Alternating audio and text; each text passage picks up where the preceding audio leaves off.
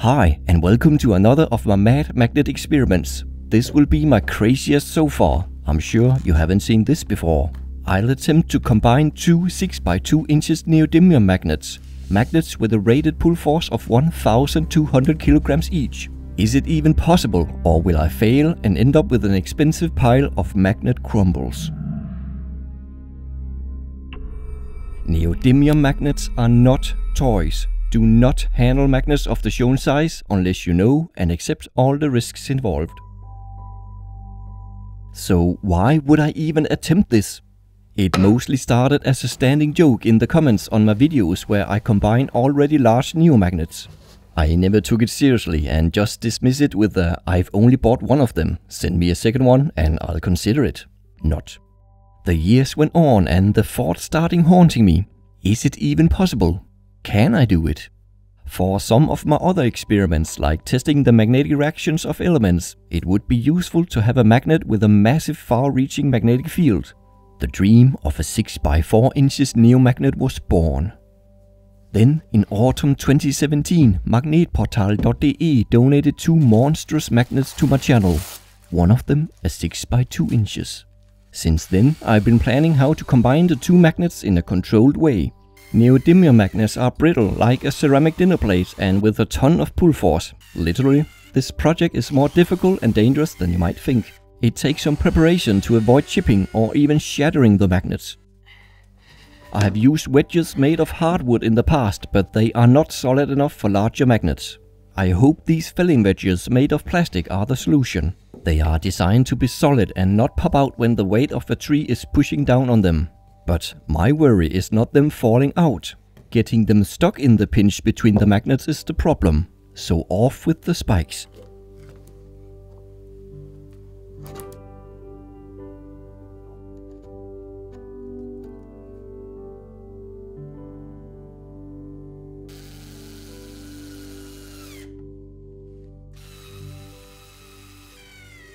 So far, it's been a one-man project to combine my magnets. Not this time. I know my limits and have called in a secret helper.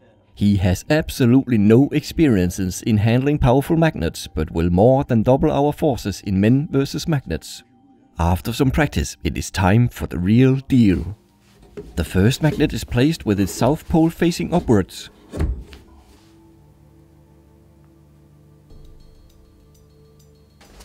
and the heavy wedge is placed over the magnet. I double check the polarity and notice the low Gauss reading above the wedge. 25 centimeters or 10 inches from the magnet. It is only 1% of the Gauss reading flat at the surface of the magnet. Nicely low for safety. But I still secure the wedge with some old belts to make sure the bottom magnet isn't suddenly set free. The other magnet is placed in a carrier to make sure we never have our fingers between the magnets. Again with the south pole upwards.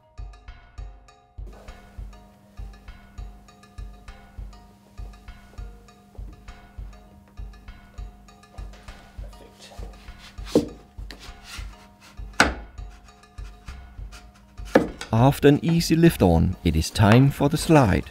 One man pulling the wedge and one man pulling the magnet in opposite direction and trying to keep everything centered over the bottom magnet. First sound is the bottom magnet lifting up from the ground. The magnets are now pinned on each side of the wedge. Pause. Der er udmeldinger. nu de også tæt på hinanden. Ja.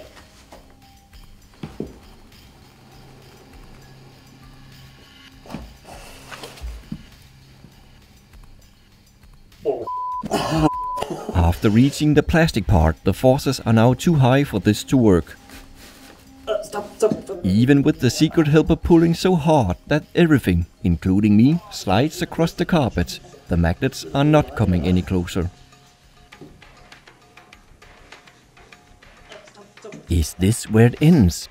Time to come up with a plan B. We decided to turn it into a tug of war. Two Jutlandic Vikings at one end and the two magnets at the other.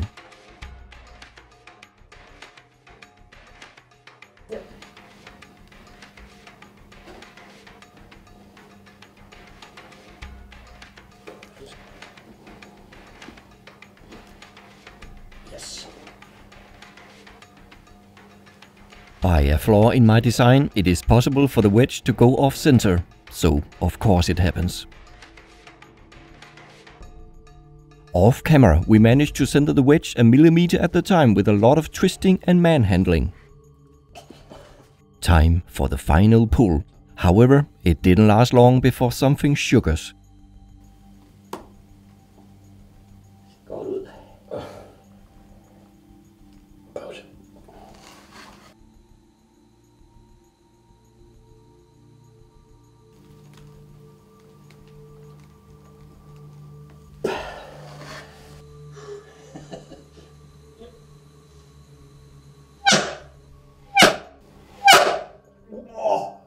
Noise was loud and unexpected. Still not sure what made this sound. Your guess is as good as mine. After checking nothing bad has happened, we carry on. Stille og roligt. Yes. Læg bare lige skæld på en gang. Klar. Skal ikke meget til.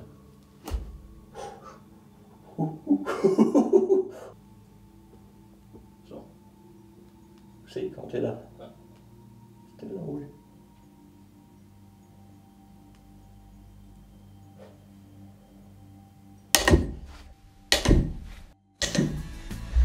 Yes! yes! What a relief. The magnets are not stuck on the wedge and no humans or magnets were harmed.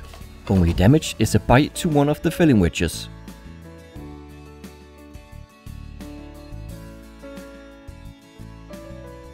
A tiny bit is stuck between the magnets, but it is so flattened that it isn't a problem.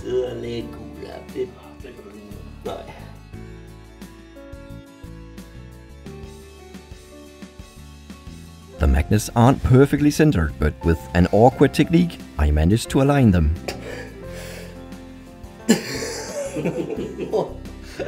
Once all of the edges are aligned, the magnets will not move anymore. They feel like welded. So here it is, a 6 by 4 inches neodymium magnet, more compact and safer to store than the two separate magnets and with a solid magnetic field.